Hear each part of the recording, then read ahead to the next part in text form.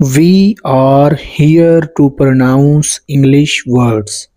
The best way to pronounce any English word is to divide it into parts and then practice it. As for now, I will be teaching you the same method. This particular word can be divided into A M I T Y. A M T amity. Amity. Amity.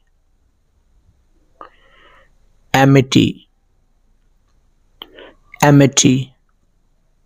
Amity